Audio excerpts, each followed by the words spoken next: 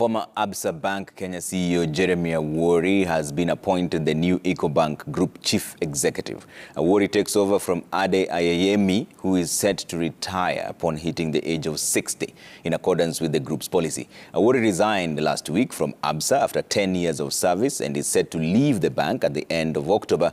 His Ecobank predecessor Ade has served the bank for seven years, having positioned it for sustainable long-term growth. Uh, Awori will now lead the 13,000 Ecobank employees conducting operations across 33 African countries.